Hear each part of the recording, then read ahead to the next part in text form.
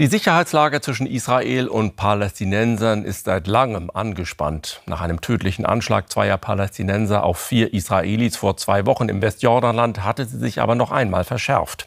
Und nun hat das israelische Militär eine groß angelegte Militäraktion gegen militante Islamisten gestartet.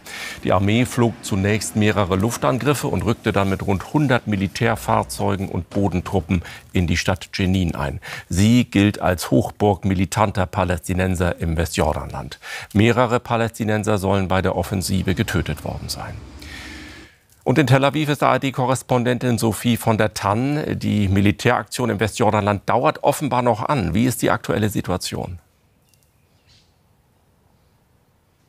Laut Militärangaben suchen Soldaten, israelische Soldaten aktuell nach Waffen in den Häusern im Jenin-Flüchtlingslager. Äh, sie haben auch ein Labor gefunden, in dem Sprengstoffe und ähm, Sprengsätze hergestellt worden sein sollen, laut Militärangaben. Man hat Waffen konfisziert, man hat wohl Teile einer Raketenabschussvorrichtung konfisziert. Aktuell heißt es von palästinensischer Seite acht Tote und 30 Verletzte. Äh, ein israelischer Soldat ist auch ähm, verletzt worden. Das israelische Militär sagt, es habe außerdem ein Kommandozentrum von militanten Gruppen im Flüchtlingslager in Jenin gefunden und gestürmt. Dort sollen Kämpfer sich koordiniert haben, Angriffe geplant haben und sich danach zurückgezogen haben. Die Militäraktion hält an und das israelische Militär sagt, das Ziel sei es, ist äh, Jenin als Hochburg für Terror ähm, ein, ein, ja, einen Schlussstrich darunter zu ziehen, das zu beenden, diese Situation.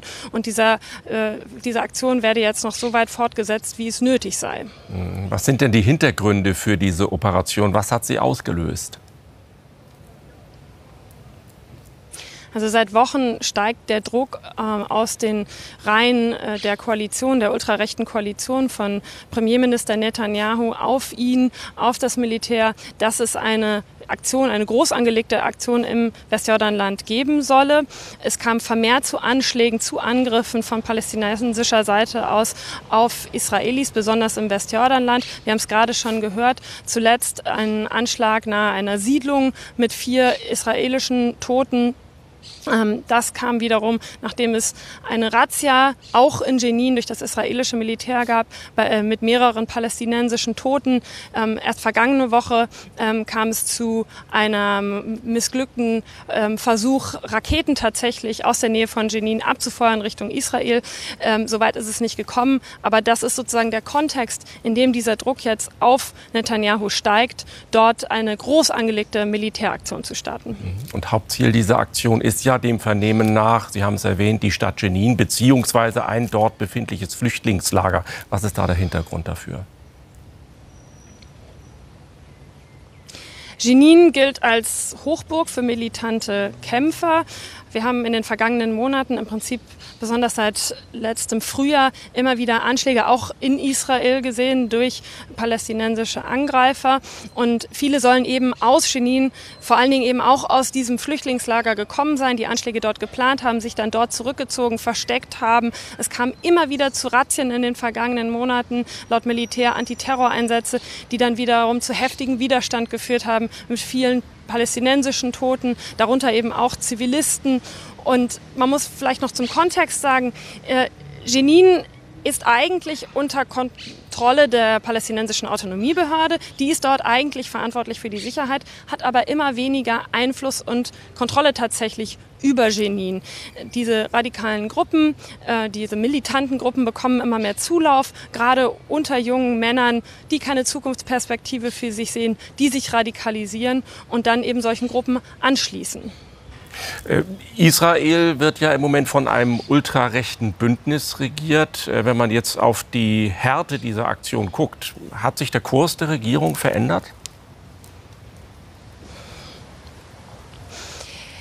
Diese Razzien, wie wir sie jetzt auch sehen, die finden eigentlich schon seit letztem Frühjahr statt. Damals als Reaktion eben auf Terroranschläge, die in Israel ähm, verübt wurden von palästinensischen Angreifern aus der Gegend von Jenin. Das ist also nichts Neues. Die finden schon seit Monaten statt, immer wieder.